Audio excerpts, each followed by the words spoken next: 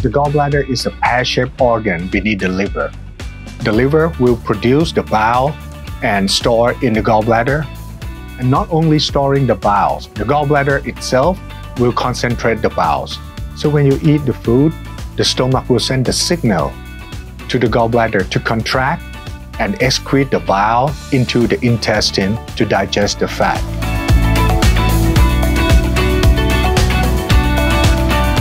So usually there will be three reasons for causing the gallstone. First, you have too much cholesterol in the bile. Second, you have too much bilirubin in the bile. And the last one is your gallbladder does not contract correctly or properly.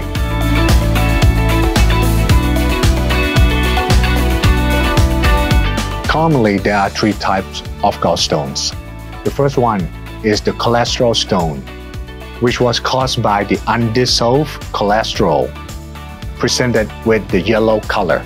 And the second one is the pigmented stone, which was caused by the excess bilirubin in the bile, presented with the black or brown stones.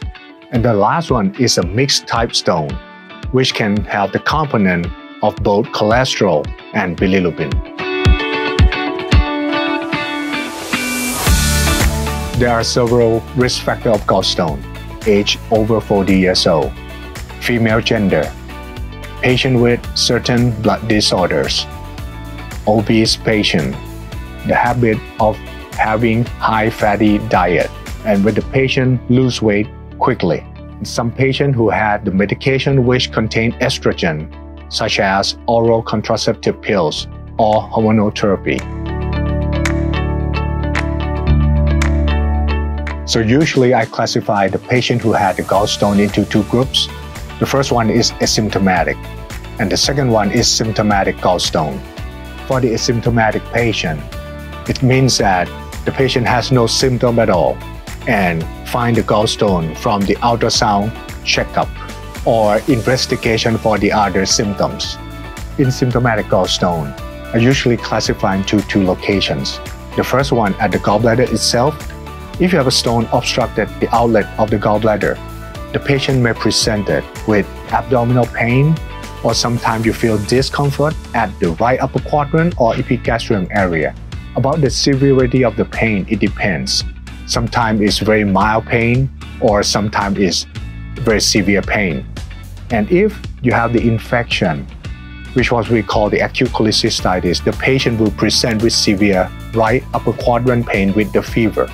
And the second location is outside the gallbladder, which is the bile duct. If the stone drop from the gallbladder into the bile duct, it may cause the obstruction of the bile duct and the patient will present it with the jaundice or sometimes the abdominal pain. And if the patient has an infection, which is we call acute cholangitis, the patient will present with the high fever, which is sometimes life-threatening. And also the pancreatic duct that drain into the bile duct, if the stone obstruct the pancreatic duct, will cause the patient to have the symptom of the severe epigastrium pain, which was we call the acute biliary pancreatitis.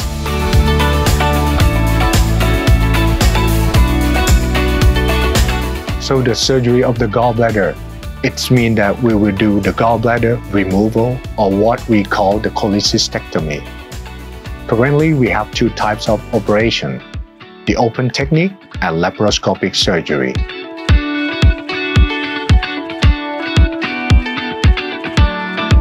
So about the technique of the laparoscopic cholecystectomy. Currently, we have the 4K system with high resolution, providing the better quality of imagings. In some complex or difficult cases, we had 4K and ICG to enhance the surgical precision and patient safety while minimizing possible complications.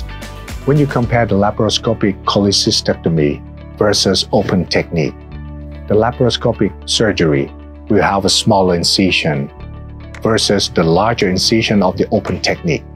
Due to the small incision, the patient will have less pain, shorter hospital stay, less wound complications, and faster recovery.